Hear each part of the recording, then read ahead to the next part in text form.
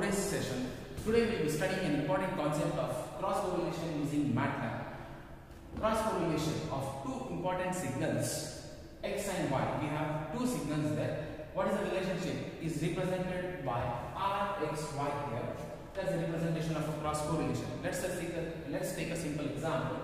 x of n is given by 1, 2, 3, 4 and y of n is given by 2, 3, 4, 1. In order to find the cross correlation, we have to take a mirror image of any one signal. Now I am taking a mirror image of y of n. So y of minus n. So the last signal will come first. So it is 1, 4, 3, 2. Okay. And then we need to perform a convolution operation. So that is nothing but a multiplication using a matrix. So I have represented the x in the vertical column fashion and y of minus n in the horizontal fashion. So x is what? 1, 2, 3, 4. y of minus n is 1, 4, 3, 2. When you multiply 1 into 1, 1, 1 into 4, 4, 1 into 3, 3, 1 into 2, 2. 2 into 1, 2, 2 into 4, 8, 2 into 3, 6, 2 into 2, 4, 3 into 1, 3, 3 into 4, 12, 3 into 3, 9, 3 into 2, 6, 4 into 1, 4, 4 4s are 16, 4 3s are 12, 4 2s are 8. Then make the diagram arrangement like this. And add the data elements present inside that. Now here only one element is there. Write that in the square matrix. 1, 2 plus 4, 6, 3 plus 8 is 11, 11 plus 3 is 14, 14, 4 plus 12 16,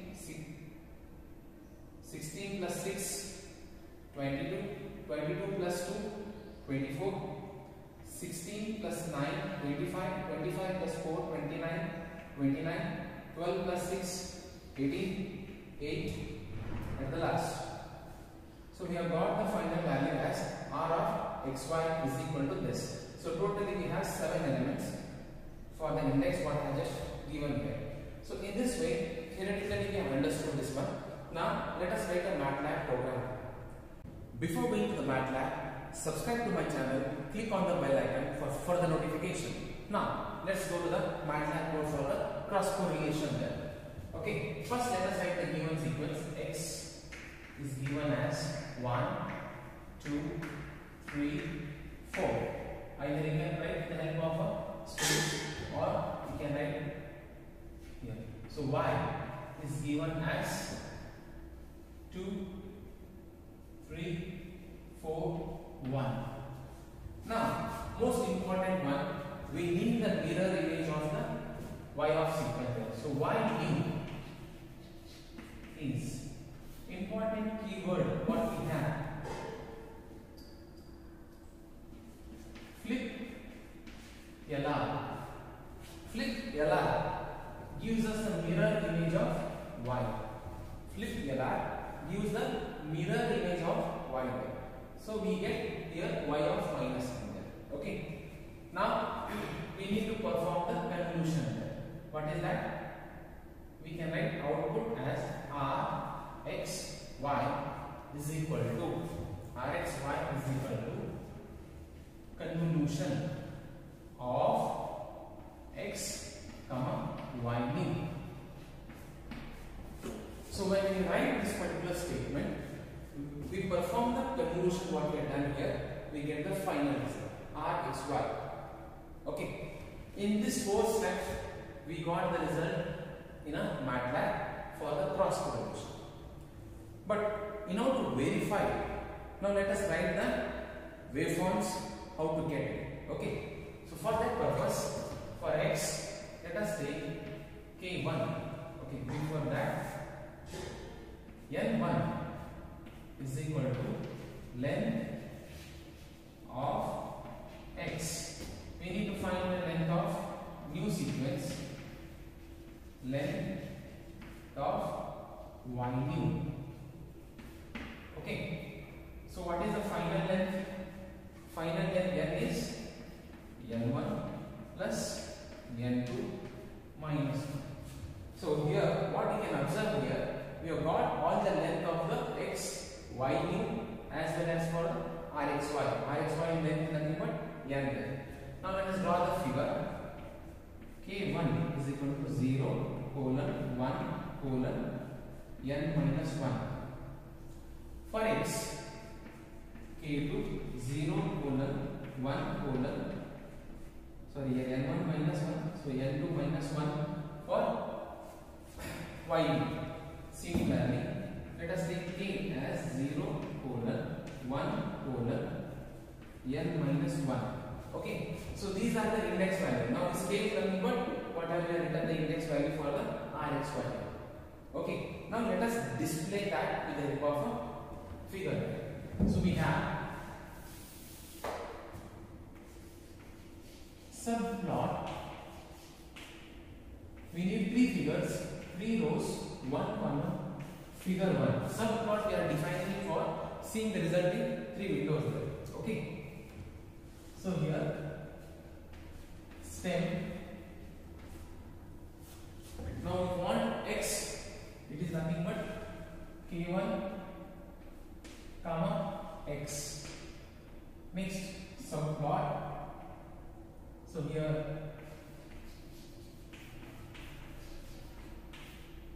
three rows one column figure 2 stem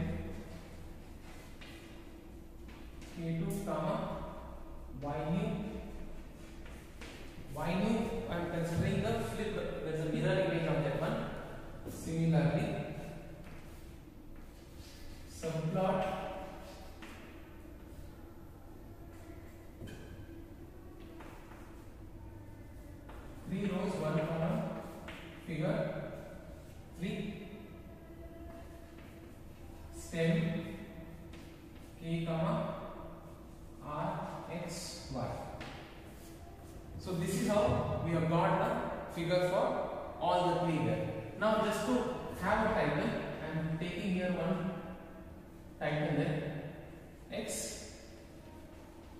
representation similarly title for y new also y new representation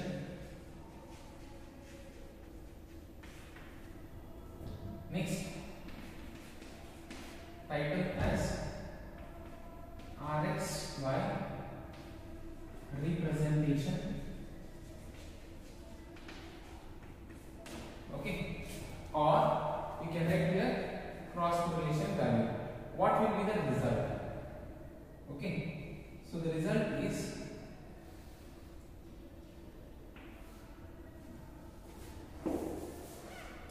what will be the result we can observe here so we will be having a result of 1 2 3 4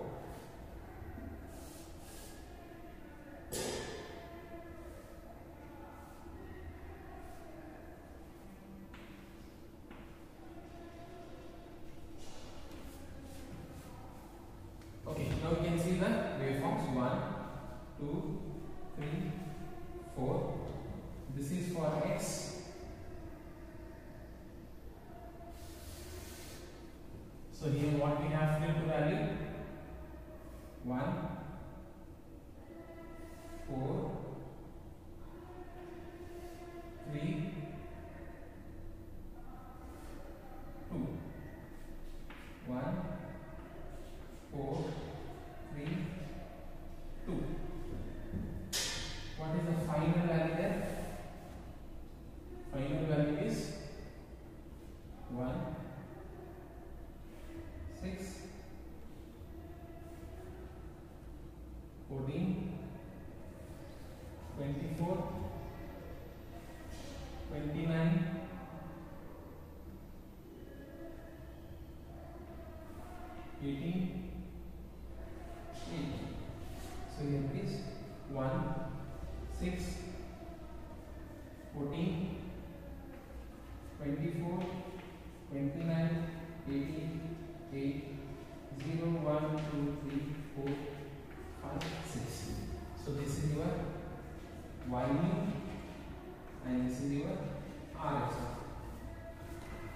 So this is the MATLAB code for the cross correlation. Okay. Today we are going to study a new software that is GNU Octave software. How to install this? And this is a free version that's a open source. Anyone can use this, upgrade this, and help for the global application there. Okay. So now let us see how to install this Octave and then see one simple example on this Octave there. Okay. First, go to the Google and search for GNU Octave. You can see that a website opens here, gnu.org. Click on this or click on the downloads. So when you go for a download, we have a different version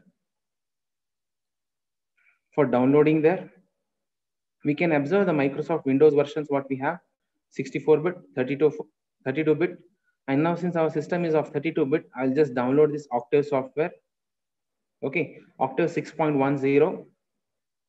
So it takes few hours, few minutes to download this Octave software. Okay, now I'll just pause this because I already downloaded the software. Let's go to that particular downloaded version.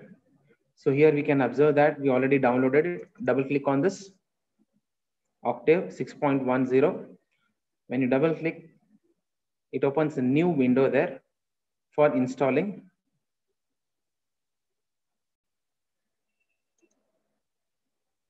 Run the installation. It takes few minutes time to install there. Click next. Install for anyone using the system, click next.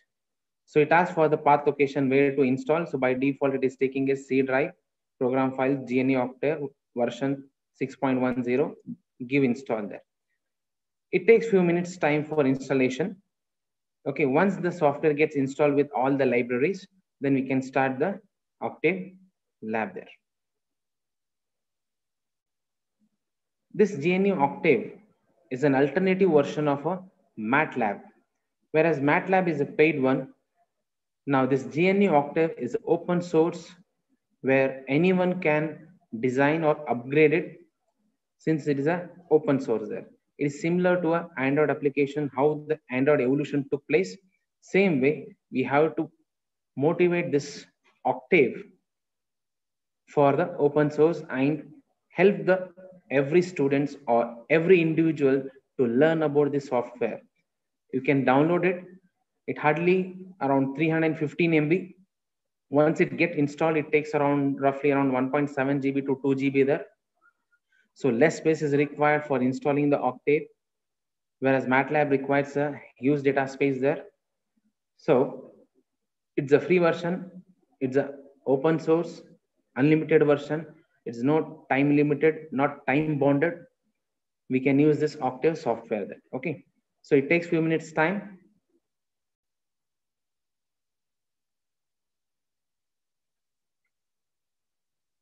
Now you can observe that installation of the Octave has been completed. So run GNU Octave now or show readme operation. Just click finish.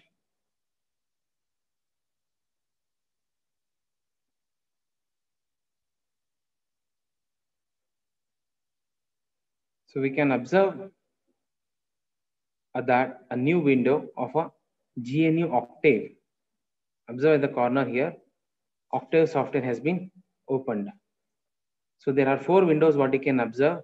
The file browser path here, what we have. We have workspace and we have command history. And then we have the license versions information here. Okay. Either we can write in the command window, whatever we have here, or we can directly go for the editor version here. Click on this editor so here only a editor window gets open and we can write the mat code. Here the entire MATLAB code can be written. It's almost all similar here. Now let us see a cross correlation program, what we have seen. First, let us write the comment. Cross correlation using MATLAB.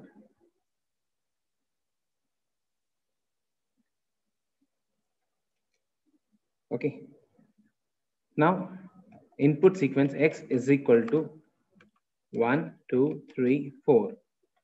What we have considered. Then as I say, we need to find the length of x. Okay, let us name this one n1 equals length of x. Then k1 as an index for this x, k equal to 0 colon 1 colon n1 minus 1. Similarly, for the second sequence y, y equals 2, 3, 4, 1, what we have considered. Now, since we need to perform a cross correlation, we have to flip the, or we have to take the mirror image. So it is y new is equal to flip LR is a new keyword in the MATLAB. Then we have to use y. So it flips the given sequence. Let us find the new length n2 is equal to length of y new length of y new. So this finds the length of a second sequence. Now we need to find the correlation there. So Rxy is a relationship as we have seen CONV convolution of x comma y new is the definition of the cross correlation what we have there. Okay, now let us find the length of this. So n equals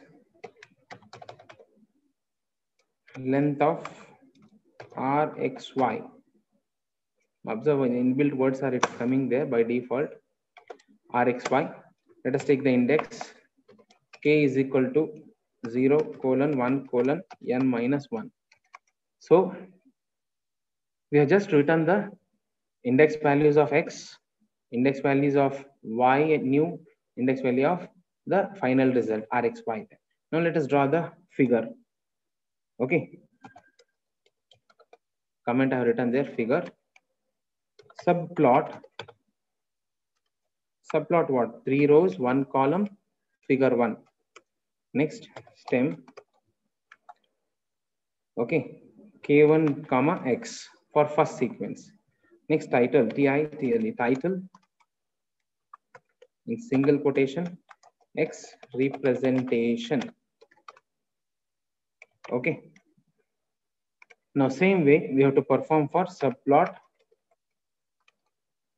Three rows, one column, figure two, then stem for K2, comma, Y new, the second sequence. And then title for Y new representation.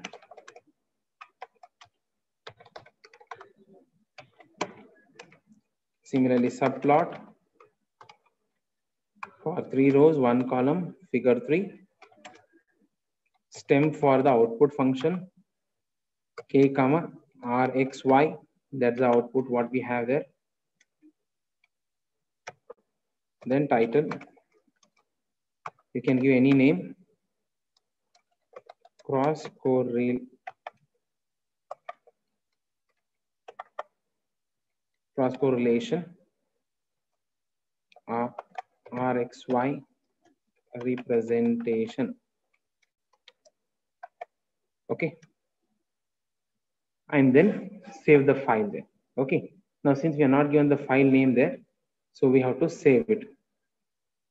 File, save the file. Okay.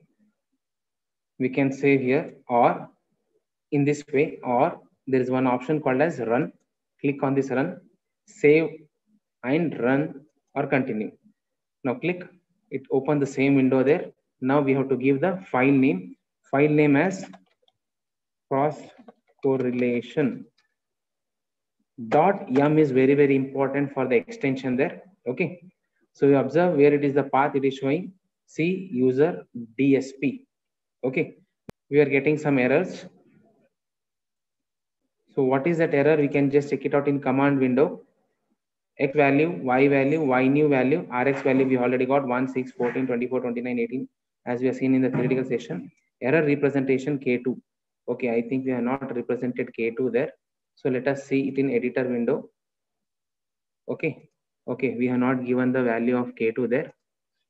Index K2 equals 0 colon 1 colon N2 minus 1.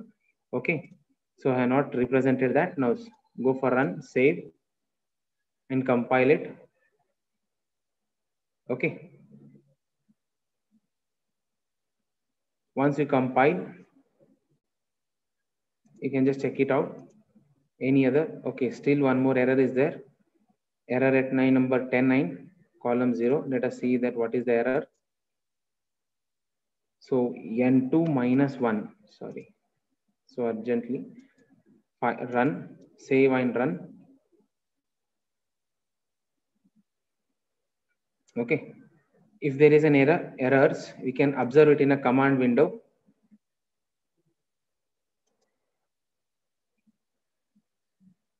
Line number 10. Okay, here it's O I have given it is 0. Sorry. Run. File save run.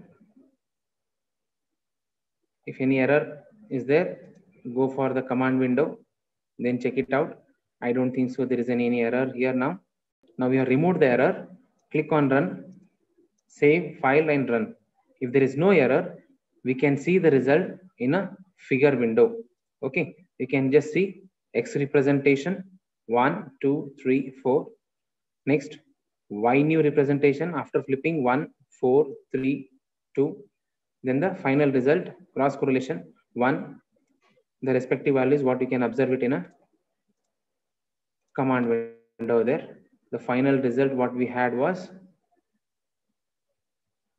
1 6 14 24 29 18 8 you can observe all the values here. X value 1 2 3 4 okay y value is 2 3 4 1 y new observe after flip 1 4 3 2 n2 is number 4 there. K is 0 index after convolution we got this value and we are represented in the help of waveforms and we can observe the result in the waveform there this verifies the cross correlation.